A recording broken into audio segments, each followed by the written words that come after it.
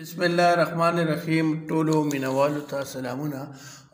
نن سبا په صوابۍ کې یو پروګرام روان دی او خلک از خود په خپل چې کم دی نو چې کم دا غي د بزرګانو د مشرانو د پلارانو د نیکوانو د میندو خیندو چې کم پاخه قبرونه دي نو هغه رواني کچکې په دې کې چې کم دی نو صابۍ، مانېرۍ او یعقوبې دا درې کلي دي چې د دې مشرانو د دې ځای اصلاحي جرګو دا اعلان وکړ چې هغه چې کم دی نو ټول قبرونه چې سوره دي هغه به کچکای او اړم دي بل قبرونه روان کړل او هغه کچک کړل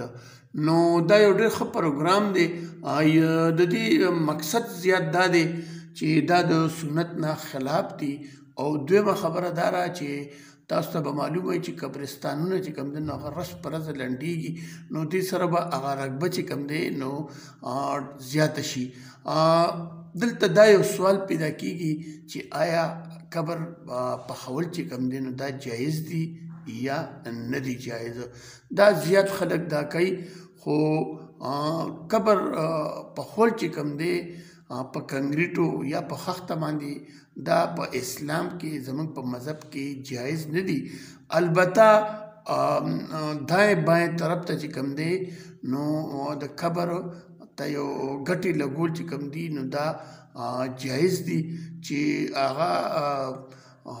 ګټې چې کومې دي چې هغه دوره وي چې د هغې میت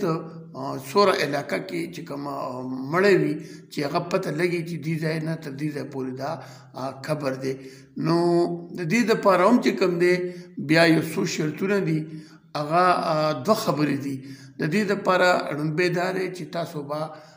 ساده ګټه اچوي او دویم دا دی چې هغه ګټه چې کومه په اور باندې پخه شوي لکه خخته نور څه نو هغه به جایز نه دی نو دا یو څو خبرې دي خو قبر پخول چې کوم دی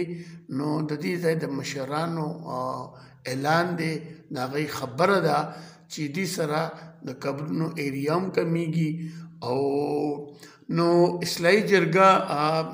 چې کوم دا د یعقوبي هغه د بلړخېلو چې کوم قبرونه و هغه په ذات خود بلاو چې کوم دنو هغه روان کړل او دوی وایي چې کم دنګ قبرونه دي نو هغه هغه مسمار کړل او کچې کړل دغه سي د صوابۍ جرګې چې کم دین هغه د خپل محلي شیرداد خیل چې کم محله ده نو هغه خپل تپینا شروع وکړه د دې مطابق